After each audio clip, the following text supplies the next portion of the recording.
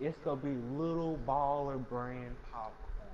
Ooh, look at these big baller brand hoodies. I gotta buy the gold one. I'm a real big baller. They, they, you, You know know, they made. You know how bad this is. You, you wanna know? Who, whoa, okay. Who is this in my garage? Um, that kind of scared me, honestly. That was kind of scary. It was just, it was literally just like a fox, just like staring at me, with his like demon eyes. I was like, um, okay, I'm just gonna stay still and hope something happens. what if it like pulled out like a knife and just stabbed you and That would be terrifying.